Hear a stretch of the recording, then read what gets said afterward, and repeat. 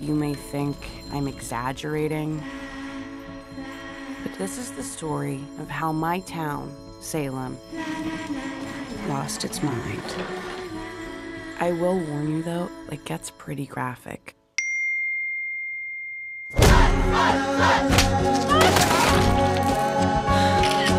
It's disgusting.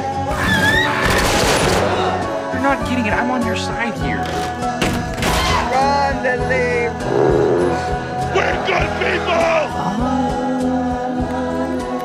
High school.